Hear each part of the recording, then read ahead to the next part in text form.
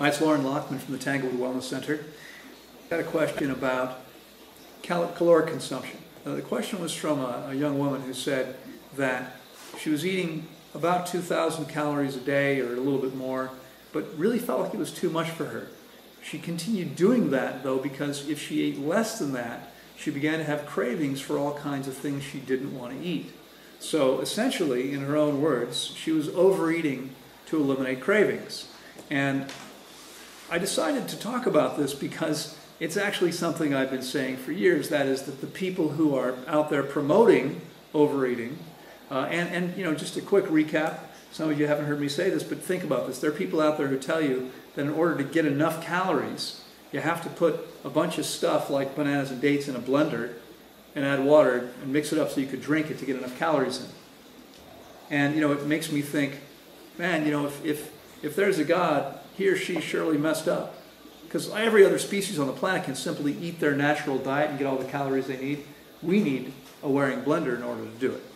Right? Our systems are somehow so messed up we can't eat enough food. It doesn't make any sense. Okay, of course we don't need to do that in order to get the food we need. So I've always said, I believe people who are doing this and promoting this are attempting to suppress detoxification, either physically or emotionally. There's either stuff coming up physically they don't want to feel, or there's stuff coming up emotionally they don't want to feel. One way or the other, they're suppressing it. And I've talked about this a little bit before. But as I was responding to her question, she said to me, you know, so what should I do? Should if I if I don't overeat like that, I'm I'm going to be detoxing. But if I do, I feel like I'm eating too much. And you know, I said to her, well, here's the thing.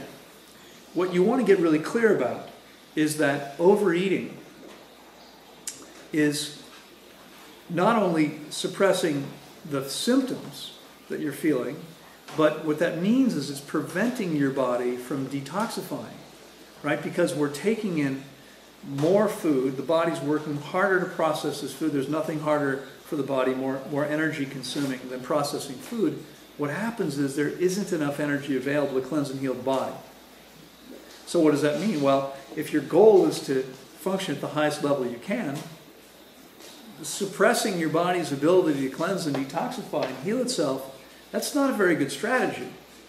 That's a short term strategy to feel okay now, but it, it means you're never going to accomplish what's possible.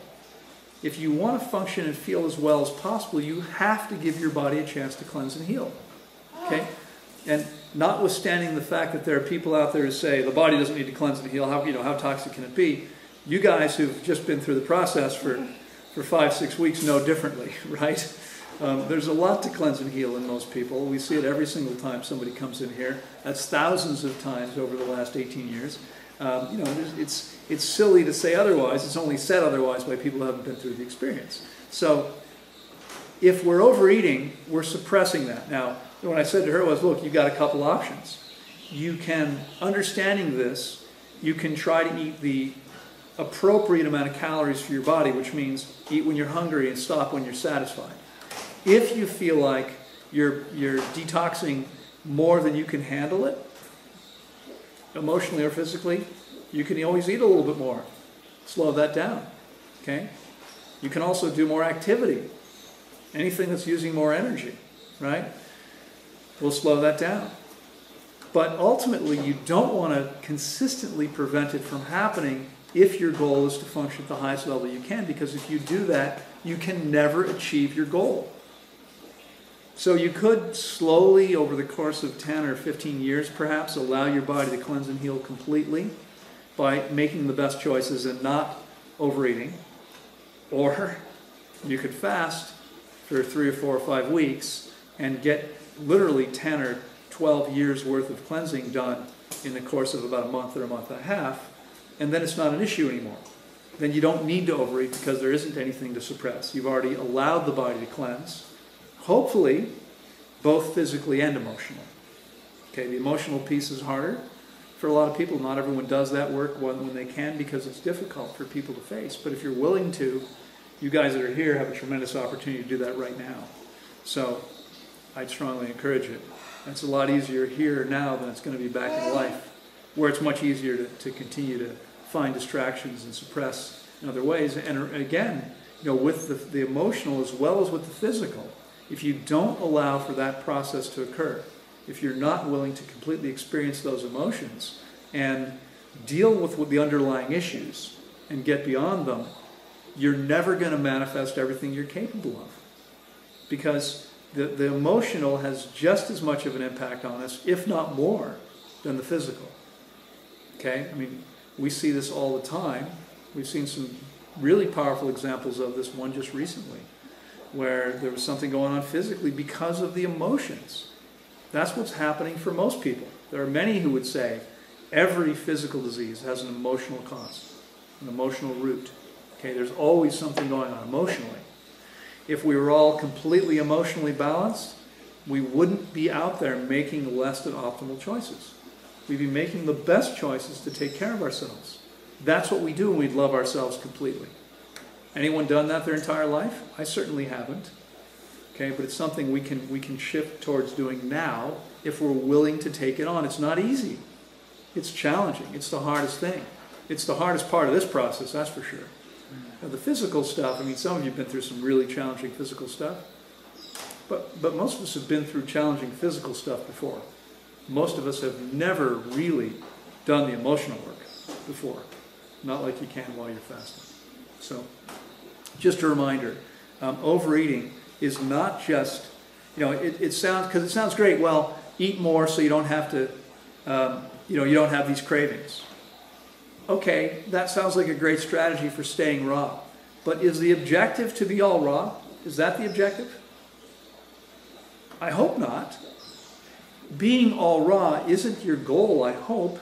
It's a tool. The goal is to feel and function as well as you can, isn't it? That's what you're in for, I know. Is that's what you're in for too, you told me. I think you've said the same thing. I think we're all in for the same thing. If that's the goal, you want to understand that the, the specific diet, that's just a vehicle to get you there. Okay? You can be eating the optimal diet, but eating too much of it and not accomplish the much more important overarching goal of maximum health and performance. So let's let's stay let's keep our eye on the right ball, right? Let's stay focused on the goal that we really want to achieve, which is the, the health and the vitality and the mental clarity and the emotional and spiritual growth. And and understand that the diet is a tool to get us there. We want to optimize the diet, but we you know, it's some people say, Well, I'm all raw while they're eating 18,000 calories a day, right?